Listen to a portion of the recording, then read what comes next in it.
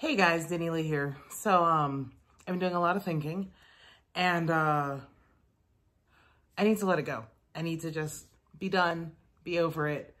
And, uh, I was thinking about something my uncle said to me a long, long time ago. And, uh, it's been in movies and stuff like that now, but my uncle said it to me before I ever saw it in a movie. And, uh, I know you guys are gonna think that it's, what was that movie? Um, he's just not that into you, which I mean, it still applies, whatever, because they said it in that movie too. But my uncle said it to me first. I, my uncle told me before I saw it in that movie. And he said, if a guy wants to be with you, he will make it happen.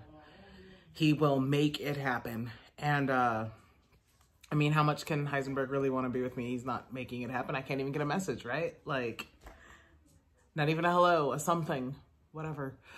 And, uh, I always make excuses. I make all these excuses and um, mostly in my head because I haven't been telling anybody but you guys what's been going on. And uh, I need to stop doing that.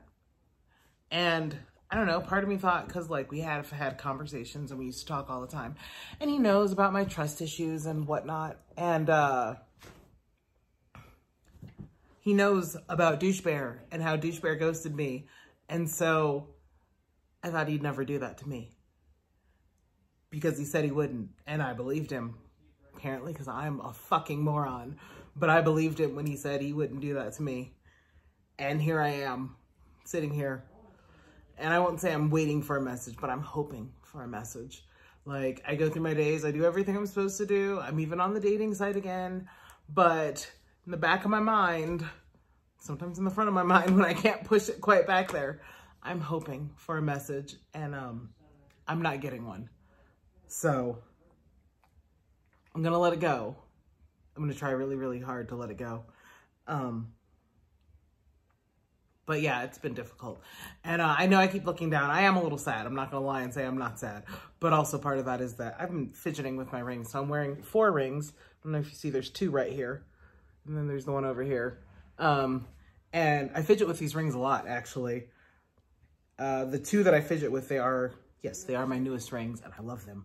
And they're skulls and then there's some black stones and whatever. I don't know if you can see the skulls. They're pretty tiny. And one of them actually, hold on.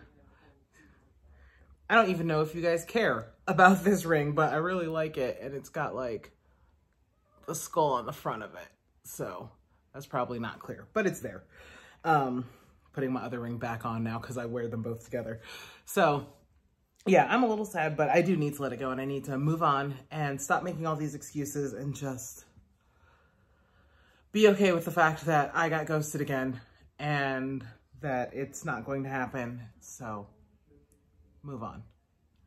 Move on. I do hate getting ghosted. Guys, I've told you this before when I told you the whole backstory about my ex and everything that I absolutely hate being ghosted. At least have the fucking balls to tell me that you don't want to talk to me anymore like fortify.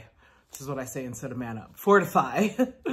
tell me that you don't want to talk to me. I'm a big girl and I take that way better than being ghosted. If you tell me you don't want to talk to me, I move on with my life like right away. I respect your decision. But when you ghost me, kind of, it, it hurts my feelings a lot. And then it pisses me off. So, but it is what it is. Um, so yeah, guys, ghosted again. Eh.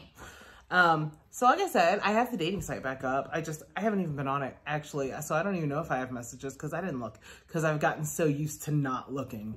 So I haven't even checked it. I should probably do that. I also have to, did I tell you guys I'm learning Latin? So on Duolingo, I'm taking the Latin course. So yeah, I really got to do that before I go to bed and I got to prep for lunch and I'm going on another tour tomorrow of where I work because I went on a partial tour of some of it. Um, the first tour, there were a bunch of us in different areas. So they gave us a tour of like a general area so we can see like what happens, I guess, in when all the departments work together, we get to see like what goes on and exactly how it affects the business as a whole. And now I've been in my department for a while. And so now I'm going on a tour of one of the other departments to see one of the smaller sides of things instead of seeing just the big picture and where I work.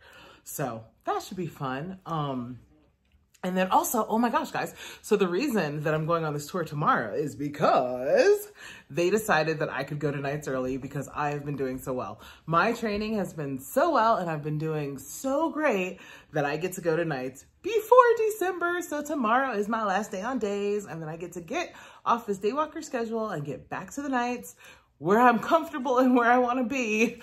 Um, one day I'm sure I will make it back to days.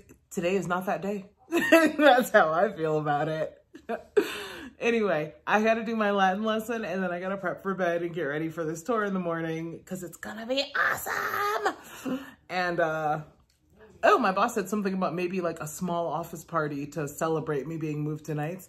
So if we do that, that would be awesome too. I'm looking forward to see if he actually does something because that would be amazing. Look at this happiness right here. So anyway, I'm going to let you guys go. I got things to do. But um, I hope everybody has a wonderful night. And I will keep you updated when I finally start checking the dating site if anything starts happening. And I'll keep you updated on other things with my life because I gotta say, like when I started this, it wasn't just supposed to be about the dates and the guy. Maybe it was supposed to be about the dates and the guys. You know, I started this so long ago, I don't even remember. But I do like talking about other things. And that's why there's like videos about my old job in Nebraska and stuff like that. And then the face mask with red, which was awesome. And then you know, whatever. So I'm to try and do more videos about my life and not just the dating. And I've had an uptake on videos with all this free time. Like, so um, at the last job, I was doing 12 hour overnights and you guys know I was working like, I don't know, 52 to 72 hours a week. But at this one, I'm only scheduled 40 hours a week. So it's eight hour shifts, five days a week. And let me tell you, I'm so excited. Like I watched a movie tonight, guys. Like an actual movie. I watched the whole thing. That's exciting, all right? So anyway, I'm sorry. I said I was gonna let you guys go and then I kept talking. That's just me. Ask my mom, she'll tell you because I do that to her on the phone all the time. You guys have a good night and this has been a true story.